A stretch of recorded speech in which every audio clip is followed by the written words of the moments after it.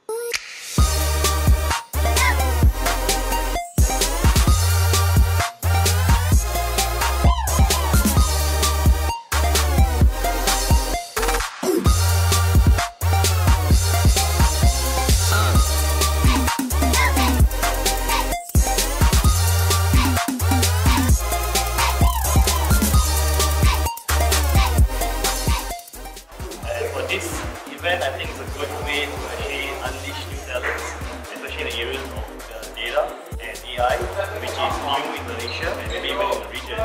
And you see potential to what you can do when you're given tools like uh, robotics uh, that can show their ideas and creations to further commercialize into actual marketable projects. This is very meaningful because it's a great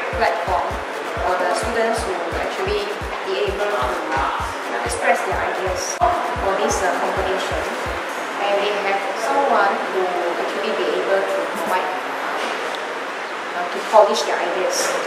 provide uh, feedback, and then they will be able to grow, to, to be able to um, make a move to, to realize all their ideas and therefore we need these people to change